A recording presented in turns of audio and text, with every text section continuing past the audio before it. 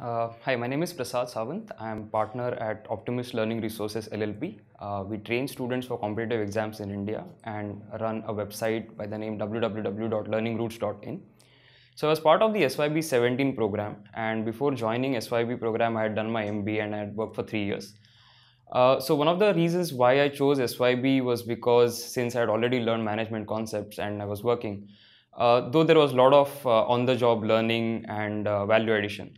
Uh, when I decided to start my own setup, I felt that there's some need to get back to some of the basics and learn from peers.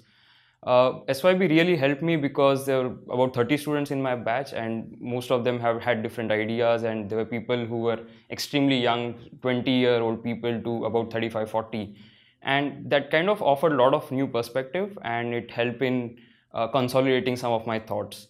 Uh, while when the course was on, I also got to uh, think of a lot of new ideas and uh, whatever assumptions that I had made, I had to kind of delete and rework on some of those assumptions.